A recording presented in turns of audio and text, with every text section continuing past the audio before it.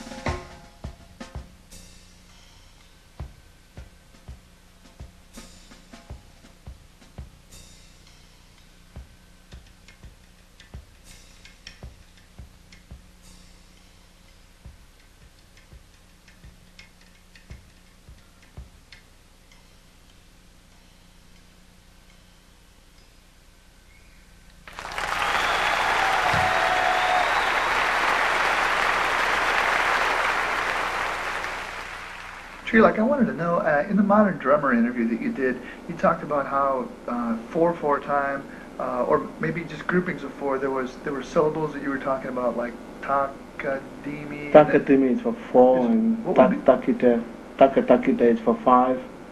Now, does that mean five, like, uh, is, is an artificial grouping, like a five over four, or would, would you count five four time that way too? No, no, it's like uh, in one beat, takatakita takat. It's like one two three four five, one two three four Over five, four? one two three four five, one, like that. Okay.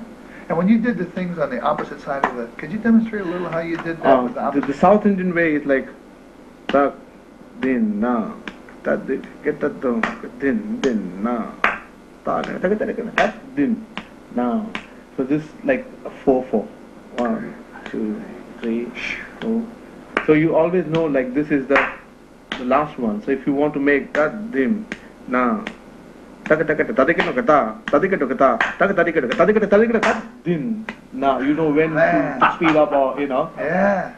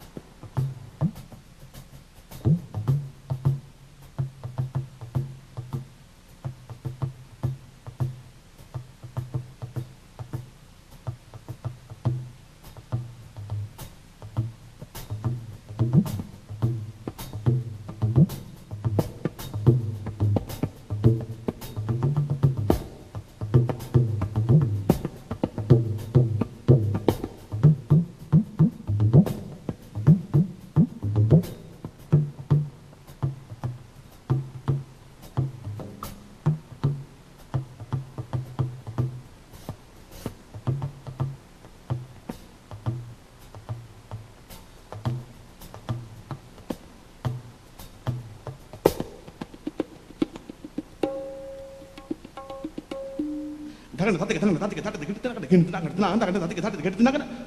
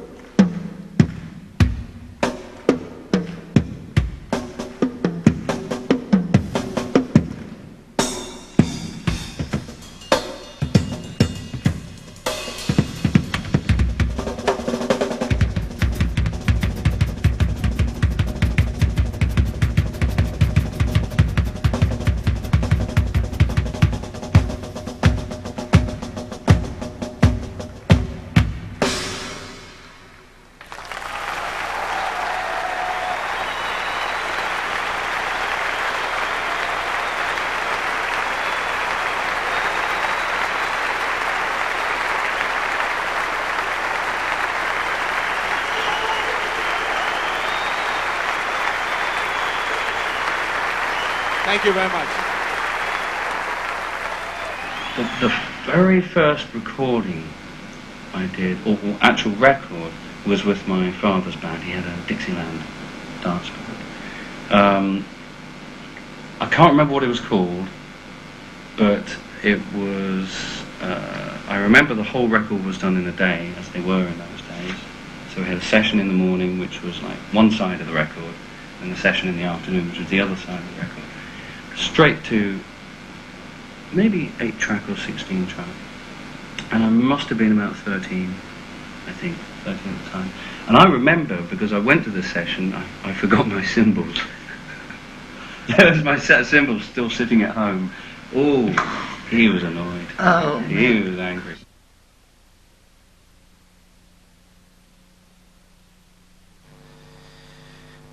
Often when we're on the road, when we're doing tours and stuff, it is very hard to practice. I mean, you do get to play every night, which is absolutely wonderful. But after that, then you go out and your kit's packed up. So, oh, all right, okay. So you go home, have something to eat and sleep, get up, and then get on a plane, go somewhere else. And the first time you see your instrument again is during sound check. So you get there and you think, oh, great, you know, but it's like, all right, you know, let's do a sound check. And you can imagine with me, you know, ding, ding, ding, ding, ding, ding, ding, ding, you know, 19, 20, 21 sort of things to hit before you finish your, shout, your sound, sound check. And then you think, yeah, oh no, no, bass player. Guitar player. And then if everything is working well, then maybe you have a sort of little jam. But then it's like crew's got to go and eat. And they do not appreciate a very loud drum solo going on while they're having their only meal of the day. They do want some peace before the next three hours of mayhem. So we're sort of uh, reduced to practicing in our hotel room on a pillow or practice pad or in the case of uh, Gregg's dressing room, a, a full-blown uh, setup, triggers, racks of equipment. no. Um, everybody has their own way of doing it. I just, as long as I remember to take a pair of sticks, um, that's usually all I need, and maybe a little practice pad. Now, the thing is, it's all very well, but you think, right, you know, got to loosen up. So you, you get there and you go, right, okay, go get really fast tonight. Yeah. But that doesn't really do any good, I don't think. It makes you very tense, and it's not really the way to warm up. So the way I like to do it is more a control way. I like to actually practice quite slowly and gain absolute control over the sticks, hands, fingers, whatever. And this is just a sort of like a very quick routine, typical of what I would do. I would go through about four different rudiments single, double, triple, quadruple or four stroke. Now, I would start off very slowly. The idea is to be able not to hear the changeover. Hopefully, that's what I try to achieve. Very, very smooth, even notes, in time. No speeding up, no slowing, slowing down. Just smooth transitions between the four little uh, horrible little rudiments. So this is sort of typically what would happen.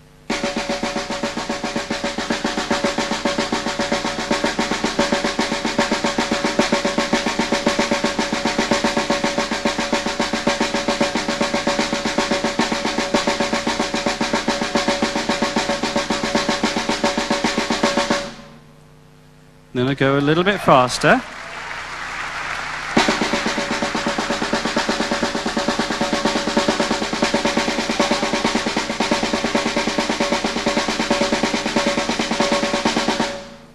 A little bit faster.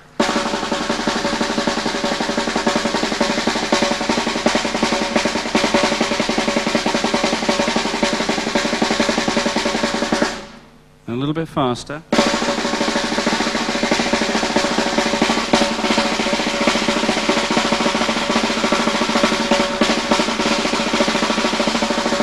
You'll notice the slight lack of four-stroke rolls now. A little bit faster.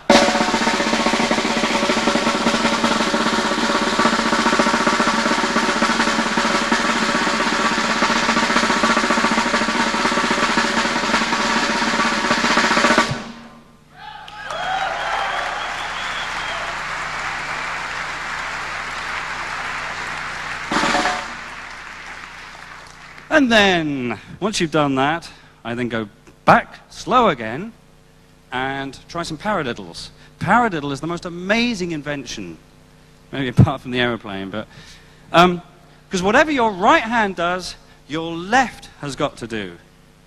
I mean, okay, you know. Yeah. It's really difficult to brush your teeth with your left hand, but anyway. So, single paradiddle, double paradiddle, triple paradiddle.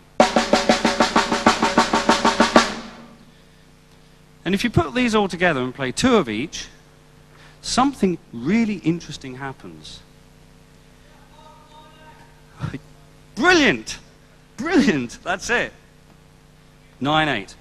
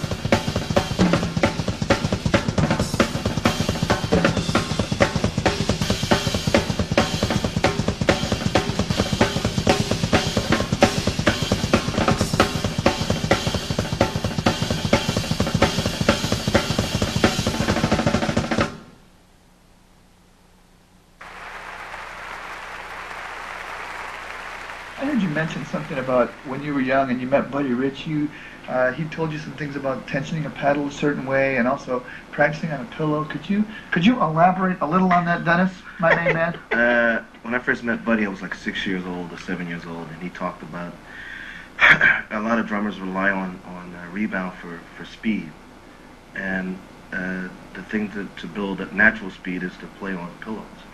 It's because pillows don't have any rebound. It's like whatever you pull, put into it, you got to pull out. out. So that worked on that worked for me as far as like natural natural speed. Uh, the foot pedal thing is is uh, he was the only person I ever seen or saw it that can do 30 second notes without a spring on the pedal at what 12 speed. Take the spring right off. Take the spring right off the pedal. So therefore the drum head now is acting like a spring. It was acting as a spring. And so you did that when you were like jamming and stuff. You tried taking the spring off and making. Yeah, I, I did that like when I was probably like around 10, 10 Man, years old. that explains it.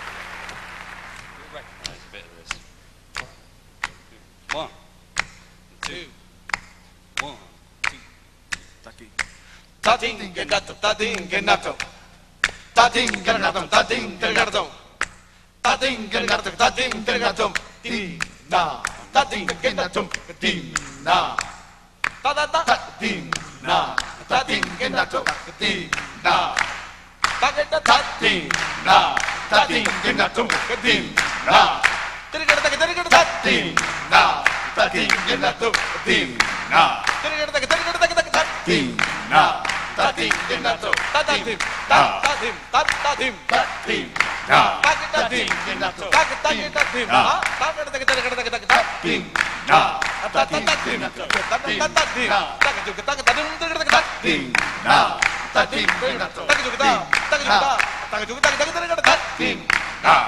tim tim tim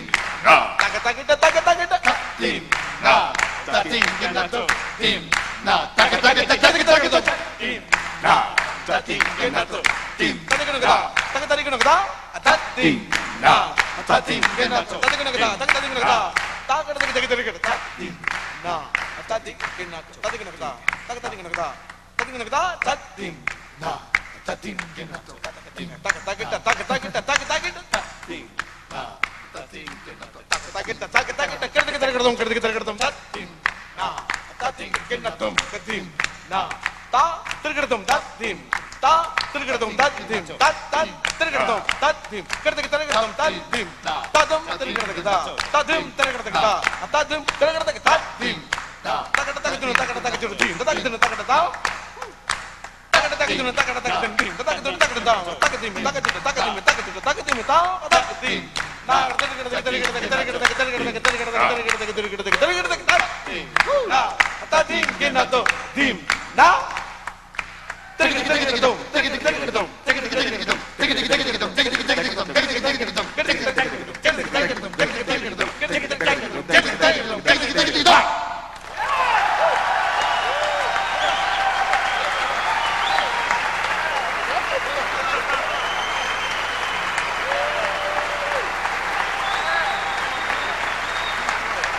Trilok Gurtu.